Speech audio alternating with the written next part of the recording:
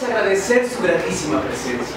Esperamos que esta historia sea por todos aceptados, pues tenemos preparado un cuento que no hemos contado y estrenamos hoy. Todos cantan, brincan, saltan y contentos se emocionan para llevar hasta ustedes al mundo de la imaginación. Tengan listo su boleto y súbanse corriendo al tren. ¿Ya vieron cómo se llama? Es el tren de la imaginación. Queremos agradecer mucho que estén aquí. Díganme algo. ¿Les gusta venir al teatro? Sí. Pues a mí no. Pero ya que estamos aquí, vamos a aprovechar y nos la vamos a pasar muy bien. Díganme otra cosa, ¿a ustedes les gustan las canciones infantiles? Sí. A mí... A mí tampoco. Pero en este caso, les vamos a cantar una canción que a mí me enseñó mi bisabuelo, el gato Apolinar. Seguramente varios de ustedes lo conocen y me pueden acompañar cantando. ¿Cómo? Cuando la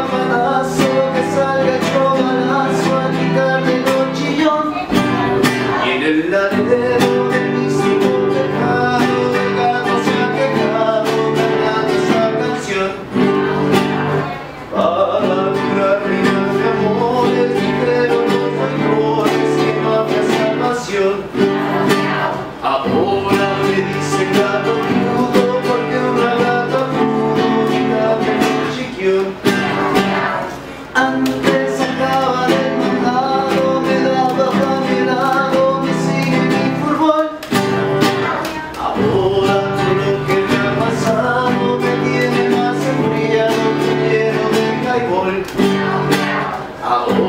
todo lo que me ha pasado me tiene más enfriado que un hielo de highball.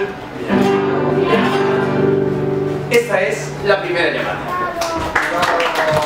Este es un truco muy importante que tiene usos limitados y que nos va a servir para cambiar la realidad. Entonces concentramos la energía, concentramos la energía, la mandamos a la barriga, la mandamos a la barriga, toda la energía en la barriga, mandamos toda la energía en la cabeza, en la cabeza, toda la energía en la cabeza, en las orejas, en las orejas, en las orejas, en los cachetes, en los cachetes, en la boca, en la boca. Cerramos los ojos y vamos a decir la palabra mágica que es palitroche. Cerramos los ojos. Contamos uno, dos, tres y decimos palitroche.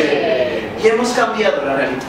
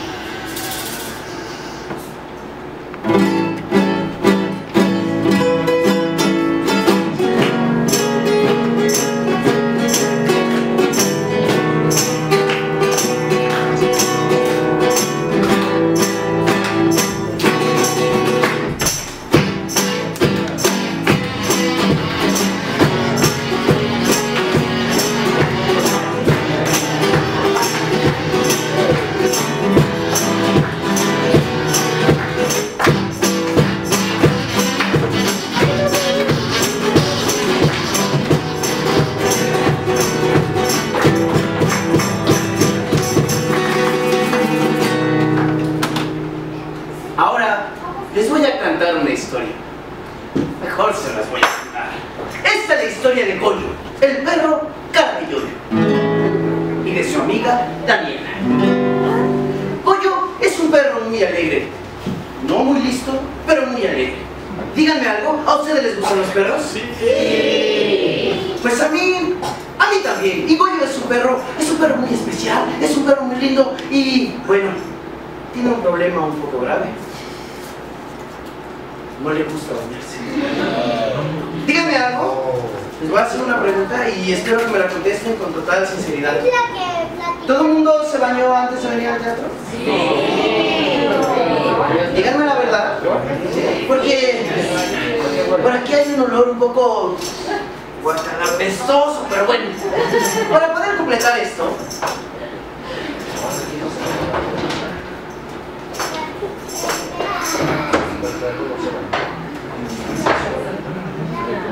justamente en ese momento, Daniel está intentando agarrar a Goyo para meterlo a bañar.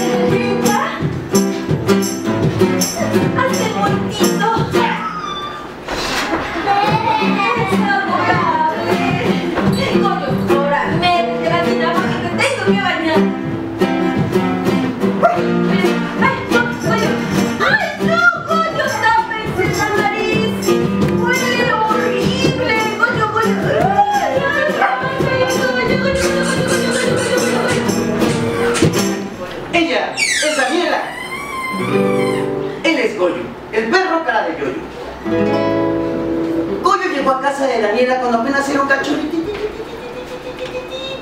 Muy felpudito, así todo lindo y pues. Y pues creció. El hecho es que desde ese momento ellos se volvieron los mejores amigos. Cuando Daniela llega de la escuela, hace toda su tarea y se come sus verduras, le gusta jugar mucho con Goyo. A ella le gusta aventarle la pelota y que él se la traiga.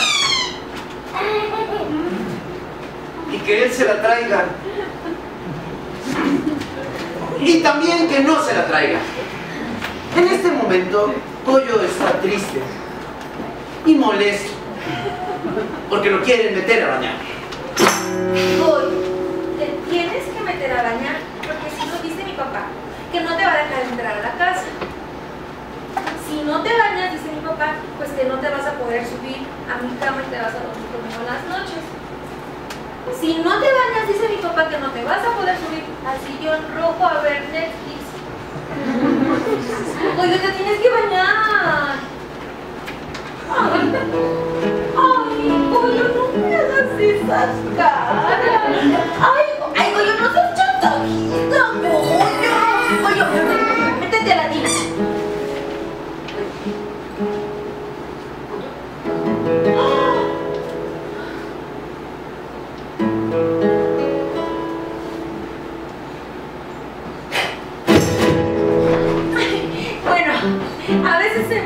y regresa.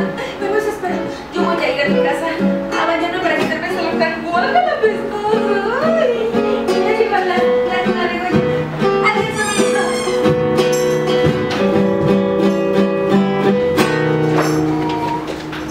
Para poder continuar con esta aventura tenemos que cambiar la realidad.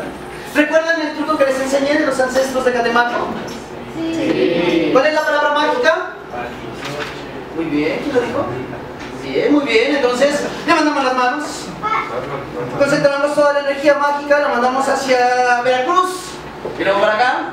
Concentramos toda la energía mágica y entonces la mandamos a la barriguita.